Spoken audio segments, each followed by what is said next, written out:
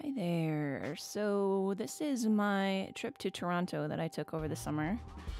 And yeah, I got to eat some amazing vegan food. I rented this really sweet Airbnb with this, as you can see, that beautiful rooftop little hangout spot.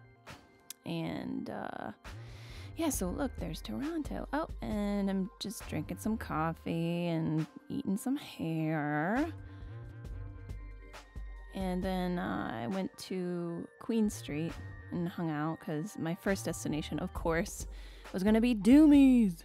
Doomies, it's this all vegan, like cafe type food with like burgers and fries and macaroni and cheese and coconut cream pie dessert. It was amazing, and I'd been wanting to go there for a really long time. And yeah, it was just a really cool vibe. It was nice to be around a bunch of people that were eating vegan too. See, look at this menu burgers, chicken burgers, sandwiches, fried chicken and waffles. Like, what? But, you know, of course, I had to try out the uh, mozzarella sticks. They were really, really good. And the, oh, this isn't on the menu, but you can ask for this special. This is the vegan Big Mac. Get out of here, vegan Big Mac. What? That's crazy. Yeah, it was amazing. It was as amazing as it looks. And yeah, delicious. And I love this this uh, place. So then downstairs they have this really cool wall of like I call it the wall of meat eater hypocrisy. and uh, it's just just funny little comics that kind of like sum up how hypocritical it can be to eat meat and say you love animals and you know justify it with oh lions do it you know all that stuff that drives us crazy but we love you still. Um yeah this one was pretty funny.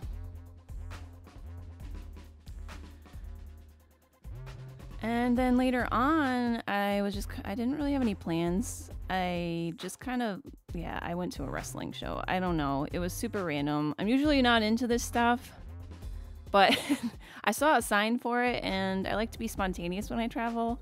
I was like, well, I've never been to a wrestling show, so screw it, let's try it out. And this was like the finale scene. The very, oh, that dude had to have gotten hurt from that. I kind of felt bad for him. And then after I was like walking home and was like, oh my God, look, just randomly there's like a veggie dog cart on the corner of the street. So I had to get that. Had to. I mean, I already j- ate junky all day. Might as well eat junky at night. And then at night, um, I went back to the rooftop and got my Kindle out and sat on a really nice couch there on the roof and just appreciated the view. I love big cities and I love Toronto. It's so diverse and just it's, um, it's an amazing city.